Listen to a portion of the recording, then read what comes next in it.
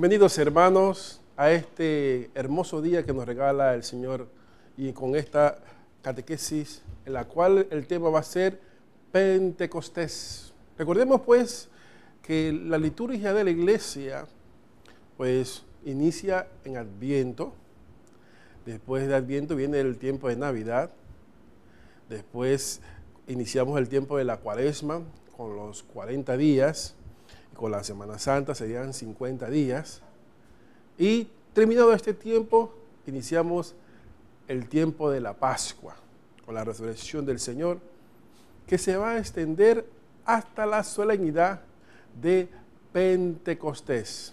Es decir, que con el tiempo de Pentecostés culmina el tiempo de la Pascua.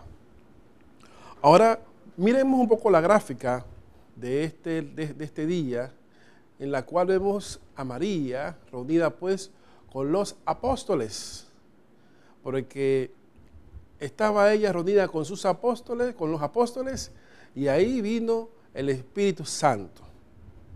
Y ese Espíritu Santo es el que hace posible que estemos hoy celebrando esta, esta solemnidad, que estemos en este momento eh, llevando a cabo este programa, Pentecostés, el que hace posible que nos levantemos todos los días. Igualmente nos arrastra a poder escuchar la palabra de Dios con alegría, con emoción. Es Pentecostés. Todo se mueve por Pentecostés. Cuando el Padre en la Eucaristía va a consagrar el pan y el vino en cuerpo y sangre de Cristo, tiene que pedir la efusión del Espíritu Santo. es el Espíritu Santo lo que hace posible que el pan y el vino se convierta en cuerpo y sangre. Igual lo que hace posible es que la comunidad venga a celebrar la Eucaristía. Lo que hace posible que esté aquí frente a esta pantalla y llevando a cabo este programa es el Espíritu Santo. Es por Pentecostés, Señor y dador de vida. Vamos ahora a conocer un poco qué es Pentecostés. Para ello, miramos ahí en esta hermosa gráfica a Jesucristo, rodado con sus apóstoles, que le dice que no los va a dejar solos, sino que le va a enviar el abogado, el paráclito, el Espíritu Santo. Por eso que la fiesta de Pentecostés cierra el ciclo de Pascua. En este día la comunidad de los, primeros creyentes, apóstoles, discípulos, las mujeres que acompañaban a Jesús, entre ellas María, la madre del Señor, recibieron al Espíritu Santo. Desde entonces Dios mismo vino a habitar entre nosotros. Qué hermosa, digamos, introducción de qué es el Espíritu Santo, ¿no? Viene a animar a la iglesia Animar, a veces tenemos el concepto que es una persona que dice unas palabras agradables, que dice un chiste, o que se pone un vestido para alegrar a las personas. Animar en el contexto bíblico quiere decir otra cosa. Animar es transmitir vida. Y el Espíritu Santo viene a transmitir vida a la iglesia. Por eso cuando decimos en la iglesia EPAT, equipo de animación pastoral, animación pastoral, es el grupo de hermanos en la parroquia que viene a animar en el espíritu, animar a la vida de Cristo a cada pastoral. Entonces, si esa pastoral está como así como media enferma espiritualmente, de, así como apática, así como que perdió el norte, entonces viene ese equipo de animación a transmitir la vida, a dar a conocer que es por Jesucristo que esta comunidad cristiana está trabajando en, la parroquia. Eso es animar. Y el Espíritu Santo viene a animar a la iglesia. Jesucristo dice, me voy, pero le voy a dejar al Espíritu Santo, al paráclito, al abogado, al defensor. No vamos a estar solos. Tenemos que tener claro pues que el mal es un ser espiritual. Y por ende tiene pues cierto tipo de facultades o poderes. Por eso es que se llama mal. Y él va a buscar destruir lo que Dios hermosamente ha creado, que eres tú. Por eso nosotros necesitamos una fuerza superior, una fuerza espiritual superior, que ayude a proteger, que nos ayude a proteger y nos ayude a vencer del mal. Y ese es el Espíritu Santo. Y es la forma en la cual Dios manifiesta su ternura, su amor hacia el hombre. Porque como padre viene o madre quiere estar cerca de la creación, de su pueblo, quiere estar cerca ahora de sus hijos, por, la, por el bautismo de sus hijos que somos nosotros. Y la razón de recibir el bautismo, la confirmación, el cristiano que recibe ahí, la fuerza del Espíritu Santo, el amor de Dios, recibe esa coraza para no ser vencido por el tentador. Porque vamos a tener constantemente la concupiscencia, que no es pecado, pero es la inclinación del hombre hacia el mal. Y a través de esa fe, a través de ese Espíritu Santo, podemos vencer el pecado, podemos vencer el mal. Nosotros cuando estamos en la iglesia, hablamos del Espíritu Santo. Y lo vemos mucho en lo que es los misterios de gozos. Por ejemplo, en el Rosario, Pentecostés. Podemos ver en este misterio de gozo de Pentecostés, el misterio de gozo de Pentecostés es tener la certeza, como católico, que somos de que no hay en el mundo templo más hermoso que las personas, de cualquier raza y condición porque en cada uno habita el Espíritu Santo. Todos juntos formamos la iglesia, el pueblo de Dios, misterio, igual iglesia, gozo igual estar habitados por el Espíritu Santo de Dios. Entonces cuando tú recibes ese bautismo, hermano, tú recibes el Espíritu Santo. El Espíritu Santo está en ti. Decía pues a los muchachos que nosotros vamos como quitándole, diríamos, las facultades para que ese Espíritu Santo actúe en nosotros. Porque a través del pecado y a través de nuestra negación, no dejamos que el Espíritu Santo actúe. Y se, pero se permanece Espíritu Santo en nosotros. Y por eso nosotros, en la fiesta de Pentecostés, vamos a alabar a ese Dios que es uno y trino, Padre, Hijo y Espíritu Santo, que viene a nosotros, que viene a nuestro encuentro. Y por eso que a través del Espíritu Santo podemos clamar a Dios como Padre. Miren todas las maravillas. Cuando una persona se bautiza, recibe como una cédula de identidad personal. Uno, hijo de Dios. Antes era criatura, hijo de Dios. Recibe el perdón de los pecados. Recibe el, Espíritu Santo. Recibe como herencia poder ir al encuentro del Señor al final de sus días. Todo es a través, hermano y hermana, del Espíritu Santo. Jocosamente en la iglesia, antes de bautizar a los niños, les pregunto a los padres si sus hijos pues ya han recibido el Espíritu Santo o si sus hijos eh, son cristianos. Y todos dicen, sí, son cristianos, sí, recibieron el Espíritu Santo. Y les digo yo así, pues hermano, todavía no. Solamente reciben ese Espíritu Santo, reciben pues ser cristiano en el momento que son bautizados.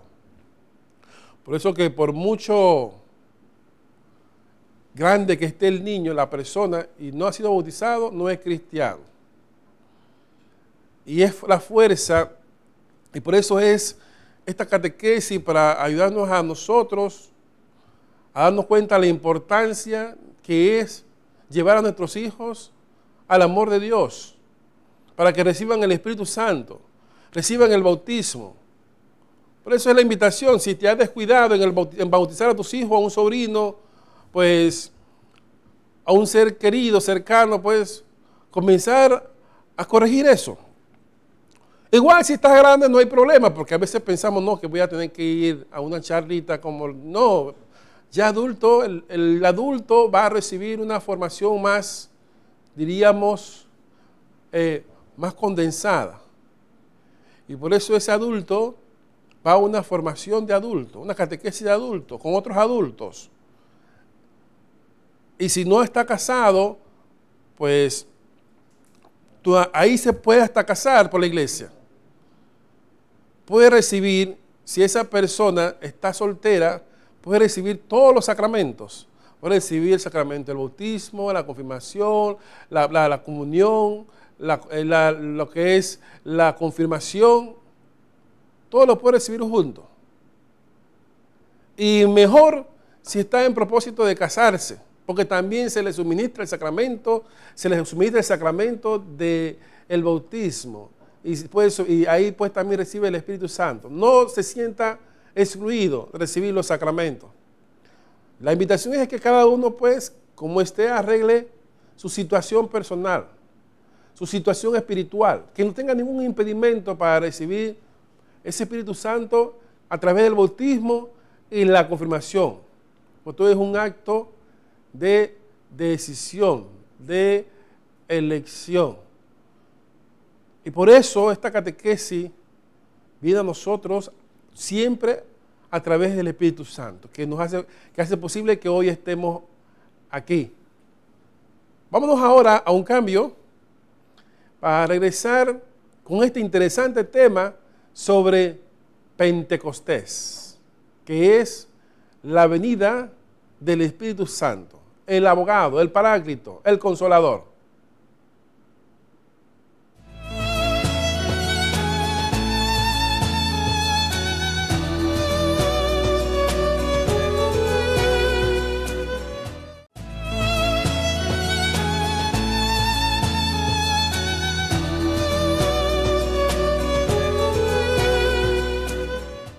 Hermanos, continuamos con este tema de hoy Pentecostés.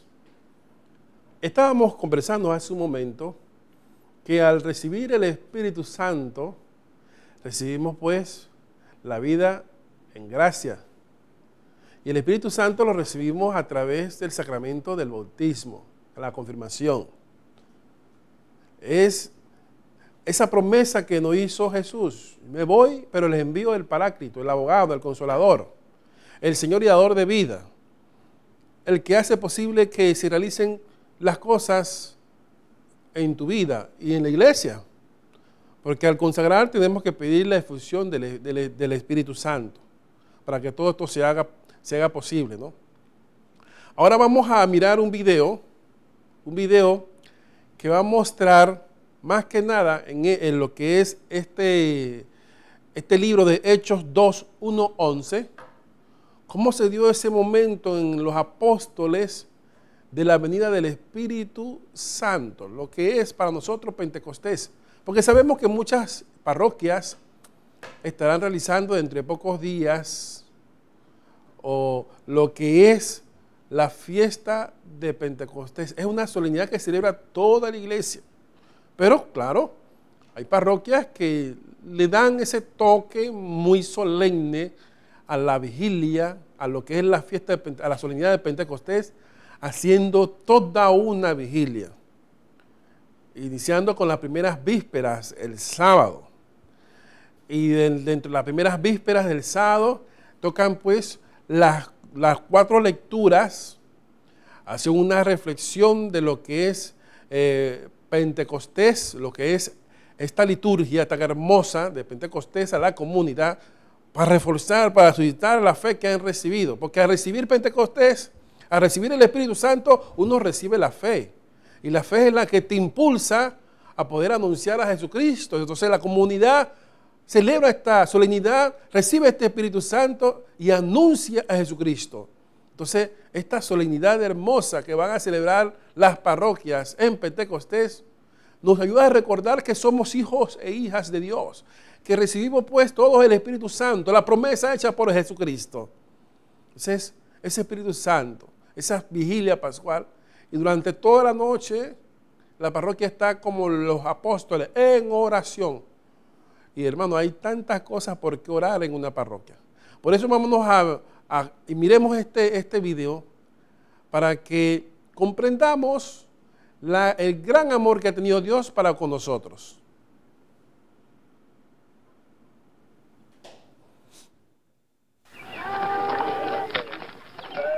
Cuando llegó el día de Pentecostés, estaban todos juntos en el mismo lugar.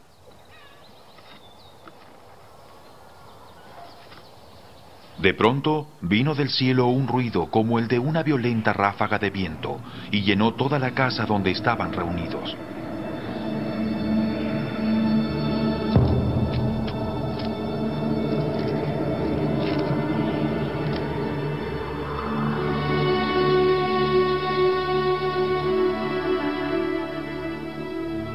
Se les aparecieron entonces unas lenguas como de fuego, que se repartieron y se posaron sobre cada uno de ellos.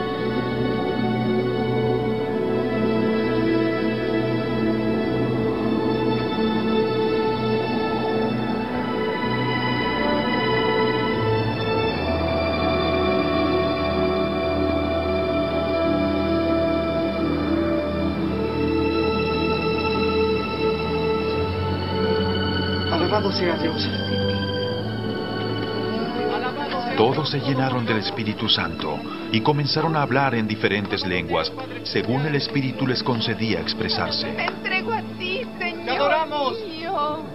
Estaban de visita en Jerusalén judíos piadosos, procedentes de todas las naciones de la tierra. Al oír aquel bullicio, se agolparon y quedaron todos pasmados porque cada uno los escuchaba hablar en su propio idioma.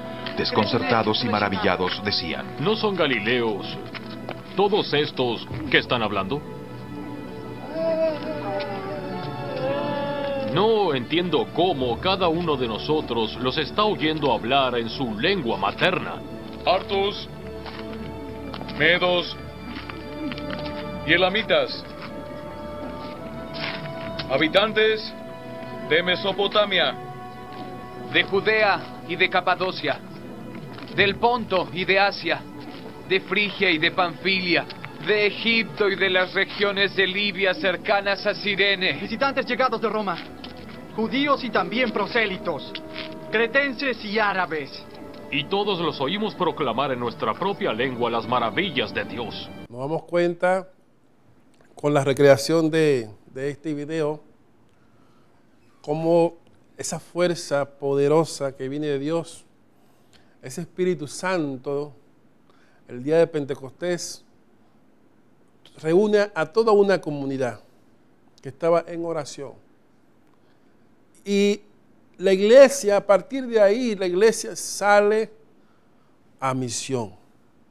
La iglesia nace en la cruz del costado de Cristo cuando traspasan a Cristo con la lanza, y de ahí nace la iglesia.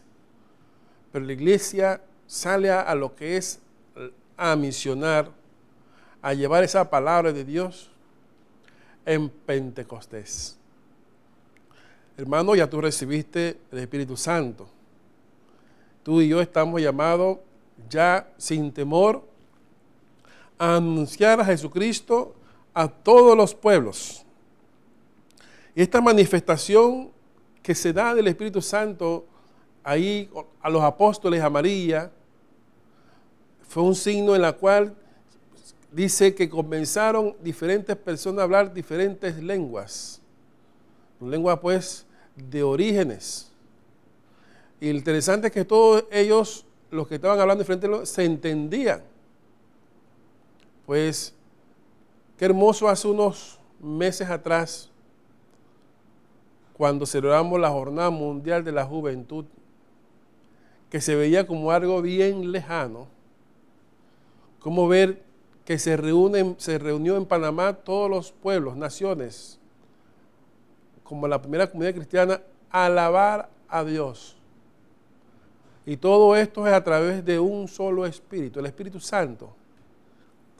Y yo siento que ustedes pudieron vi- vivir esa armonía que daba el Espíritu Santo, un gozo, una tranquilidad, una fe, un amor, que tanto así que la gente decía, lástima que se terminó la jornada, unidad de la juventud, porque se sentía tan bien.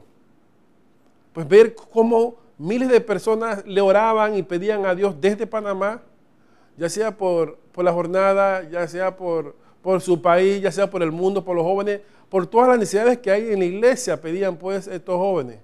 Pero ¿qué era esa armonía? ¿Qué era eso que había? Pues era el Espíritu Santo lo que hizo posible que todas estas cosas se dieran en nuestro país hace unos meses atrás, el Espíritu Santo. Y este mismo Espíritu Santo quiere, quiere seguir habitando en tu parroquia, en, en ti, en tu casa, en tu familia, en tu matrimonio. Pero hay que darle la libertad al Espíritu Santo para que habite y actúe en nosotros. Bíblicamente vamos a mirar ahora algunos signos del Espíritu Santo para que comprendamos cómo se manifiesta. Uno de los signos es el fuego, símbolo de la energía divina que transforma, dinamiza, da luz y calor. Es la fuerza. El agua, signo de vida, expresa el nuevo nacimiento realizado en el bautismo. El óleo significa fortaleza. Se emplea en los sacramentos del bautismo, la confirmación, el orden y la unción de los enfermos. La paloma en el bautismo de Jesús evoca al espíritu que aleteaba sobre las aguas. Entonces, ver ahí toda esta manifestación de, las- de lo que es, o un signo más sería la imposición de las manos, ¿no? abiertas y unidas por los pulgares, representa a un ave con las alas desplegadas que expresa la comunicación del Espíritu Santo. El Espíritu Santo hace posible la comunicación gracias al lenguaje del amor. Ese hermano es el Espíritu Santo. Entonces hemos visto algunos signos, hemos visto pues como los signos, hemos hablado de lo que es el fuego, cuando tú ves el fuego, es fuerza, es calor, es una energía que disipa la oscuridad. Entonces, así podemos representar al Espíritu Santo. Igual, en el bautismo utilizamos pues el agua, que es el signo para nosotros de vida.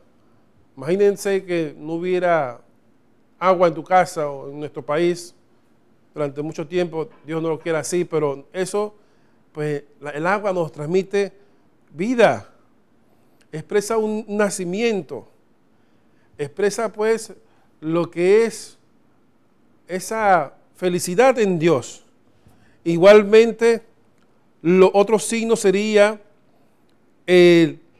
las- la, paloma en el bautismo. Cuando Jesús es bautizado, le deciden sobre esta paloma, signo de lo que es el Espíritu Santo.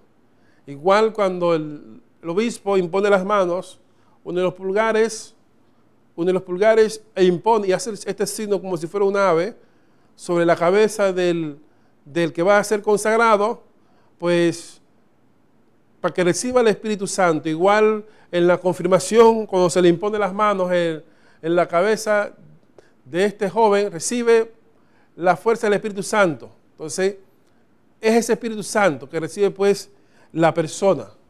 Y Pentecostés nos recuerda ese Espíritu Santo que quiere habitar y estar en su iglesia. Vamos ahora a un cambio y regresamos con este interesante tema que es Pentecostés. Ahora vamos a hablar, al regreso de este cambio, vamos a hablar sobre los dones del Espíritu Santo. Hemos hablado hace unos segundos los signos que representan al Espíritu Santo y al venir vamos a hablar sobre los dones del Espíritu Santo que son muy conocidos por todos ustedes.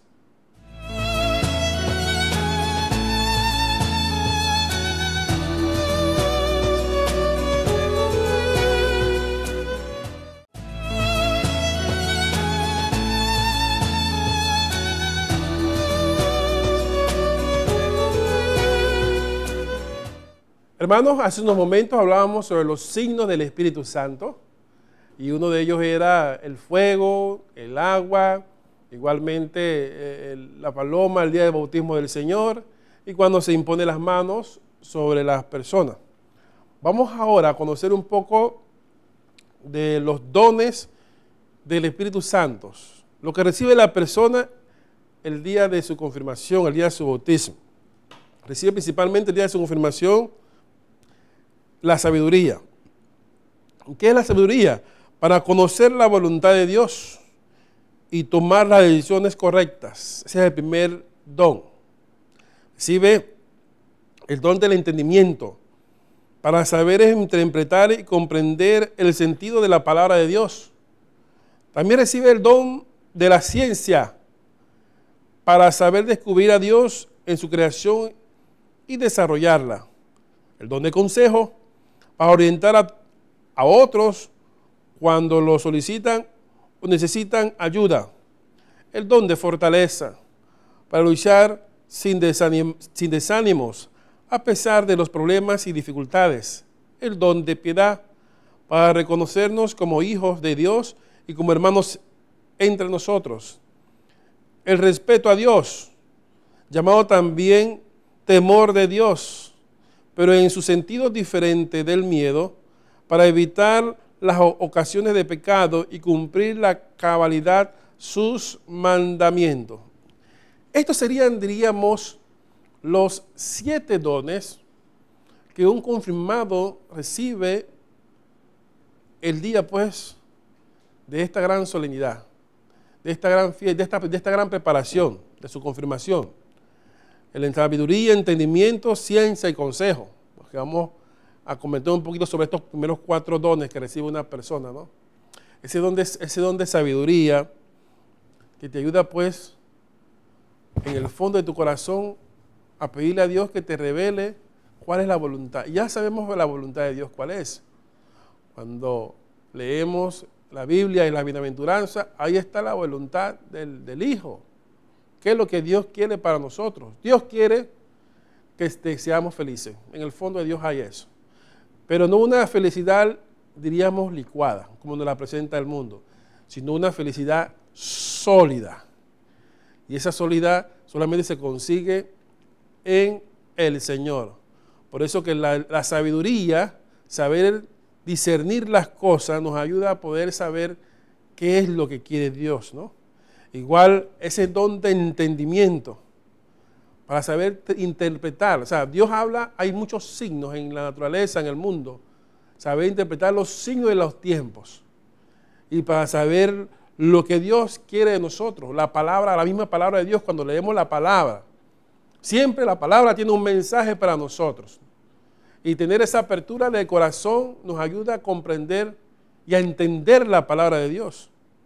Igual el don de ciencia, es poder descubrir en las cosas que Dios ha creado, pues su palabra. O poder desarrollar a través de la ciencia la palabra de Dios. Entonces la fe y la, razón no están divorciadas.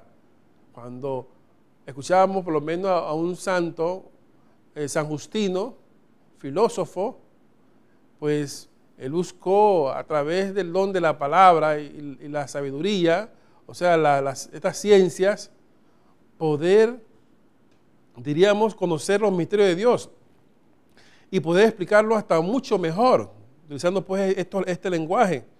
Igual, una palabra que yo siento que todos necesitamos, que sería hasta muy bueno pedirla en nuestras oraciones el don de, el don de consejo, que es para poder saber orientar a otros. Todos nosotros siempre vamos a necesitar a una persona que nos oriente, nos ayude.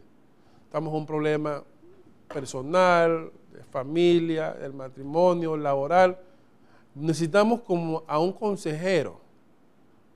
Claro, por, es el Espíritu Santo, pero necesitamos poder compartir eso eso que te está carcomiendo por dentro, poder compartirlo con una persona y que esa persona tenga esa, sabiduría, tenga ese don de consejo para poder decirte, mira, hermano, por aquí No, es por acá.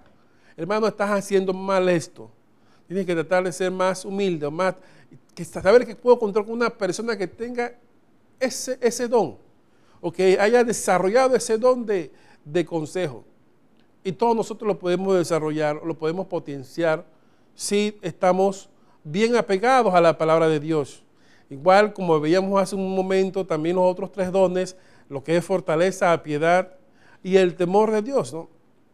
Pedir a Dios esa fortaleza, ese don pues que nos ayude en medio de, de los desánimos. Todos nos desanimamos. Llega un momento en la vida que ante una adversidad y problemas nos desanimamos.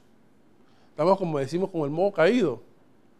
Pero tener ese don del Espíritu Santo, ese don de fortaleza, es el que nos ayuda pues, a salir de ese desánimo. Y también nosotros no somos perfectos, ¿no? Pecamos. Y desarrollar el don de la piedad, de saber poder decirle a Dios, perdóname y poder perdonar a los hermanos, eso es divino, porque solamente viene de Dios. Y el temor de Dios no es un miedo a Él, sino es el temor de pecar y de temor de ofender a Dios, que es diferente, a tener un miedo a Dios, temor de ofenderlo a través de nuestro pecado. ¿no? Por eso, ahora quisiéramos compartir con ustedes otro video que va a hablar sobre los dones del Espíritu Santo que recibe una persona. Vamos al video y regresamos aquí en los estudios para continuar este interesante tema sobre Pentecostés.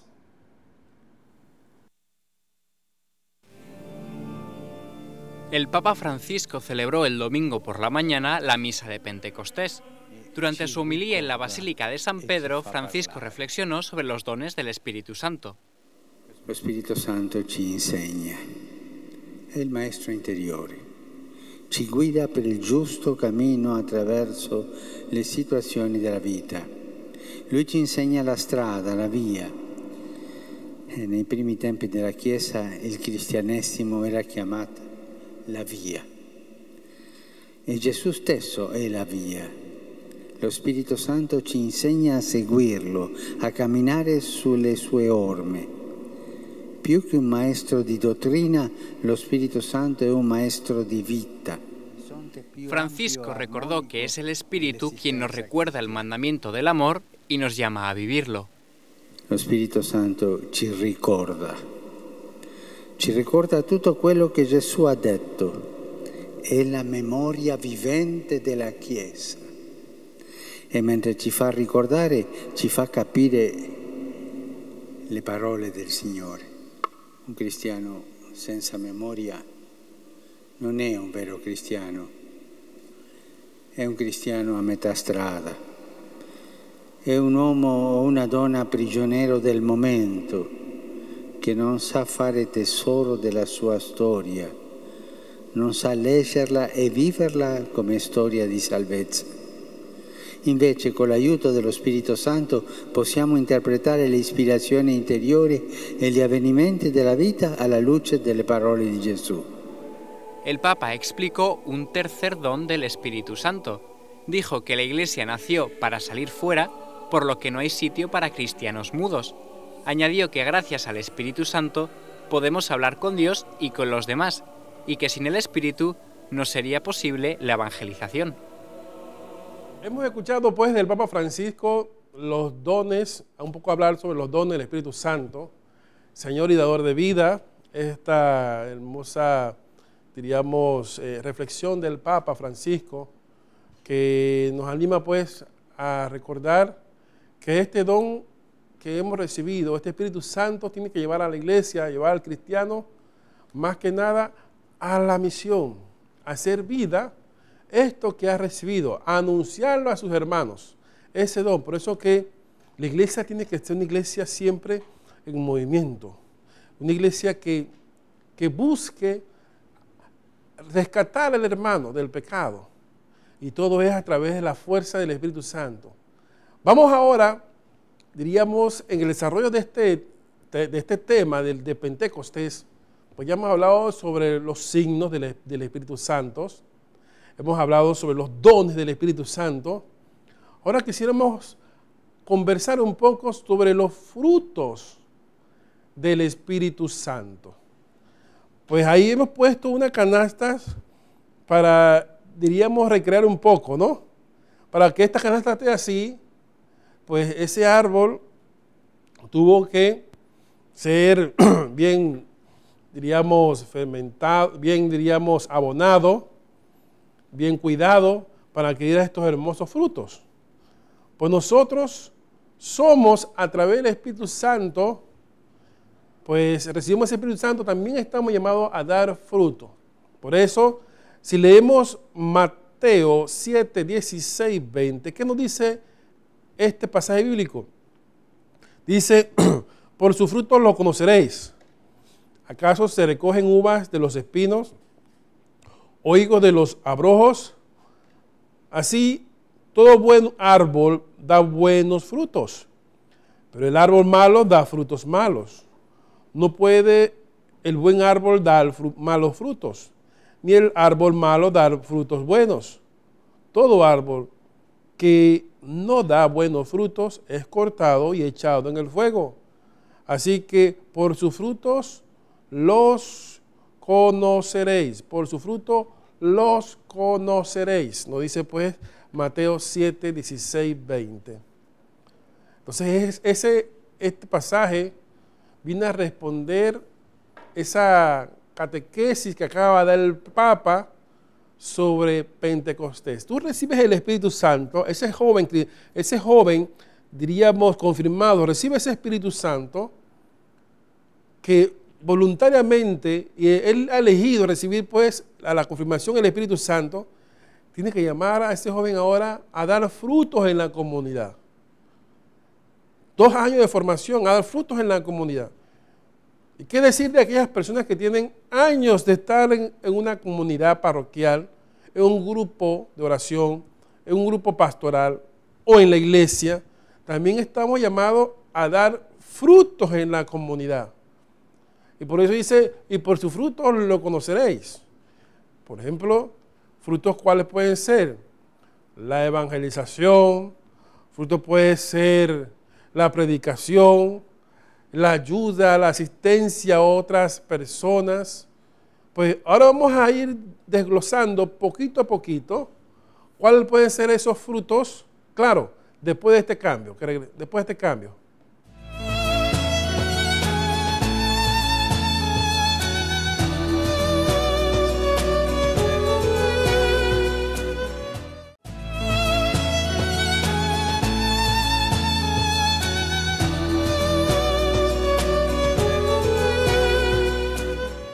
Continuamos, hermanos, con este interesante tema sobre Pentecostés. Hablábamos hace unos momentos con el Evangelio de Mateo 7, 16, 20, donde pues hacía mención a que por su fruto lo conoceréis, haciendo referencia más que nada a esta catequesis sobre los frutos del Espíritu Santo.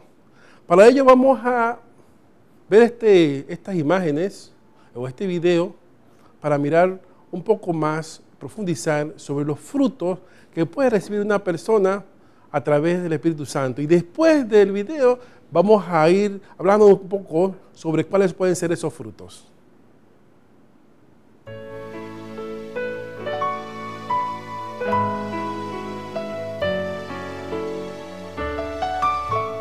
La caridad es el amor a Dios. Es el fruto más parecido al Espíritu Santo.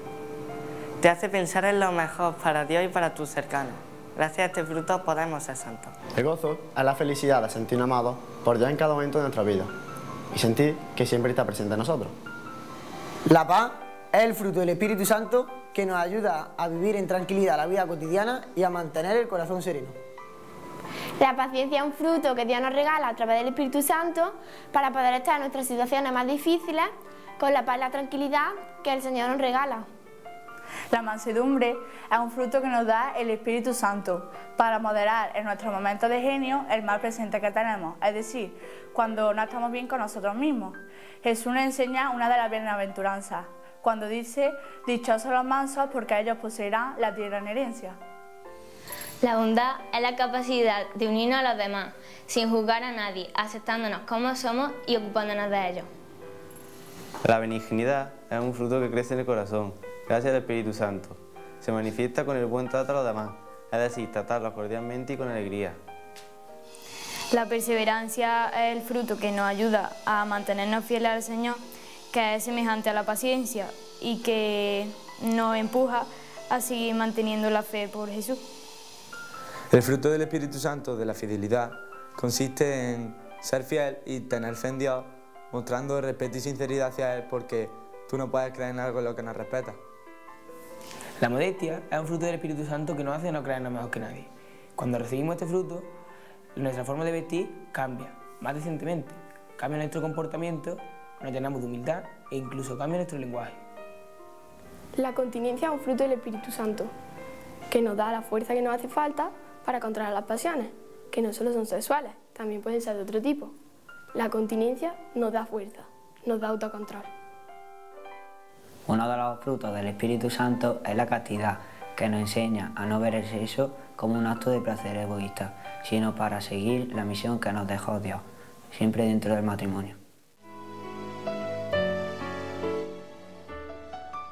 Pues hemos querido, a través de un lenguaje muy concreto, hoy, cómo podemos manifestar los frutos del Espíritu Santo. Creo que le va a servir a muchos jóvenes, igual a muchos adultos, diríamos, esta explicación de cómo se manifiestan los frutos del Espíritu Santo en un creyente, un cristiano, porque está llamado en la comunidad, en el mundo, a ser imagen de Cristo, otro Cristo, a través del comportamiento.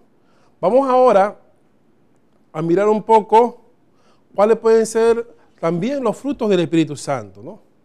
Son producto de crucificar al hombre viejo y vivir en el Espíritu, como decían aquí algunos muchachos. Son producto de la comunión con el Espíritu Santo. Forman la imagen de Jesucristo en nuestra vida. Nos permiten deleitarnos en la palabra de Dios. Permiten que Dios trabaje en nuestra vida y limpie nuestras almas. Esto puede ser también frutos del Espíritu Santo. Bueno, hemos abordado diferentes, digamos, explicaciones sobre lo que la fiesta de Pentecostés tiene que significar en nosotros. Hemos hablado de los signos, hemos hablado de los, de los dones, hemos hablado también de los frutos del Espíritu Santo en nosotros. Ahora, ¿cómo celebrar Pentecostés? ¿Cómo debemos hacerlo? Y aquí vamos a compartir algunas ideas.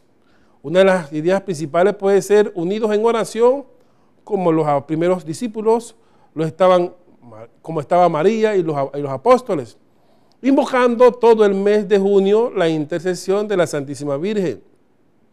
Abonar para construir en nuestra parroquia una auténtica comunidad participativa en el amor, pidiendo al Espíritu Santo que nos permita salir de posibles egoísmos individualistas que podamos tener. Igualmente, repitiendo e interiorizando la petición, ven Espíritu Santo, llena los corazones de tus fieles y enciende en ellos el fuego de tu amor. Dando testimonio, sería otro de los puntos, dando testimonio vivo para Dios y para el hombre en cualquier lugar donde nos encontremos. Estas serían algunas ideas de cómo vamos a celebrar Pentecostés, cómo celebrar el Espíritu Santo. La primera es, como los apóstoles, unidos en oración. Pues yo aprovecho la oportunidad para invitar pues, a las personas, siempre para el tiempo de Pentecostés en la parroquia San Juan Apóstol y Evangelista de Brisa del Gol, siempre los hermanos para Pentecostés, ellos tienen vigilia. Y esta vigilia comienza desde el sábado a las 6 de la tarde, toda la noche del sábado y parte de la madrugada del domingo hasta las 5 de la mañana. Inicia pues esta vigilia en la parroquia de San Juan Apóstol y Evangelista de Brisa del Gol, todos los años para la fiesta de Pentecostés, ellos tienen esta gran vigilia. Así que está llamado a poder participar en esta parroquia o en la parroquia, diríamos, de tu agrado. ¿Cómo celebrar? Yo les presento una forma de cómo celebrar también Pentecostés en una vigilia, diríamos, en, en la parroquia. Vamos ahora a mirar, diríamos, un último video de cómo actúa en la iglesia el Espíritu Santo y en nosotros. ¿Cómo actúa ese Espíritu Santo? Vámonos a este video y regresamos pues ya casi con las conclusiones de este programa. Muchas gracias por abrirnos sus hogares a este espacio de la Comisión Episcopal de Comunicaciones para hablar hoy sobre el Espíritu Santo, cómo actúa el Espíritu Santo en la iglesia y cómo actúa en nosotros. Dios en sí mismo es incomprensible para el hombre. Nosotros podemos conocer a Dios por la revelación que Él ha hecho a nosotros. Para los católicos la revelación tiene tres fuentes. La Sagrada Escritura, la tradición y el magisterio pontificio. Usemos un elemento de la tradición, un himno del siglo IV, el Beni Creator Spiritus, para hablar sobre la acción del Espíritu Santo en cada uno de nosotros. es una secuencia hermosísima que se invoca al inicio de los cónclaves, de los concilios, de los ejercicios espirituales o de las reuniones más importantes de la vida de la Iglesia. Y por ello, por el profundo contenido, vamos a hablar de algunos elementos, no los podemos abarcar todos. Comienza este himno diciendo, Ven Creator Spiritus, ven Espíritu Creador, Visita las almas de tus fieles y llena de la divina gracia los corazones que tú mismo creaste. Nuevamente se le asigna al Espíritu Santo el papel de creador, un espíritu que aleteaba sobre las aguas y creaba todas las cosas. Toda la obra buena que encontramos en nosotros, en la iglesia, es fruto de la creación del Espíritu Santo. Enciende con tu luz nuestros sentidos para que podamos descubrir a Dios en las realidades de esta vida. Nuestros sentidos externos, nuestra vista, nuestro oído, pero particularmente nuestros sentidos internos, nuestra memoria y nuestra imaginación. Fortalece con tu gracia nuestra débil carne, porque como dice San Pablo, no hago el bien que quiero y hago el mal que no quiero o en esta otra expresión, San Pablo decía, llevo en mi carne un aguijón, un espíritu del maligno que me abofetea. Le he pedido a Dios tres veces que me lo quitara y he escuchado su voz que me dice, te basta mi gracia. También en este himno se habla del Espíritu Santo como fuego, ese fuego que rescalda nuestro corazón, que lo enciende, ese fuego que lo podríamos vincular con el celo apostólico, esta capacidad de anunciar a todos los hombres el mensaje de la, de la salvación obrada por Cristo. También se le invoca como espiritual unción, esa unción que nos cura de nuestras heridas, como consolador, al fin y al cabo, cualquier cristiano que sale en busca de los demás tiene heridas, y estas heridas las consuela y las sana el Espíritu Santo, en unión con María, Madre de la Iglesia y Madre nuestra. La Conferencia Episcopal de El Salvador, a través de su Comisión de Comunicaciones SECOM, presentó el espacio Caminando con la Iglesia. Bueno, esta, este video de cómo debe de caminar en la iglesia en este Pentecostés al recibir pues el Espíritu Santo, a través de la oración, a través del himno, en la cual pedimos que ese Espíritu Santo nos venga a fortalecer. Vamos a culminar, hermanos y hermanas, este programa de Pentecostés, la venida del Espíritu Santo, con una oración. Así que yo les invito allá desde sus casas, conmigo, a pedir ese Espíritu Santo para que se manifieste en nosotros en tu vida, en tu matrimonio. Por eso decimos todos, vamos a ver si lo hacemos todos, oh Dios, así como mandaste tu Santo Espíritu sobre la iglesia, con lenguas encendidas y viento de Pentecostés, te pedimos que mandes ese mismo espíritu sobre nosotros para que podamos salir a proclamar el Evangelio de Cristo a cada criatura. Aumenta tu vida trinitaria entre nosotros. Haznos testigos efectivos de la resurrección de Jesús. Ayúdanos a vivir nuestra fe con tal alegría y convicción que atraiga a otros al misterio de tu iglesia y a la gracia poderosa de los sacramentos.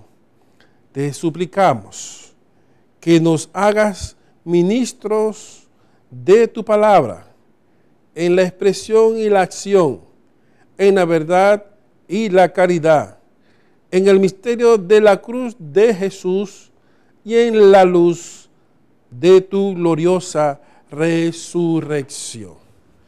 Y pues desde aquí queremos impartirle esa bendición en el nombre del Padre, del Hijo y del Espíritu Santo. Amén. Que tenga una feliz solemnidad de Pentecostés. Bendiciones.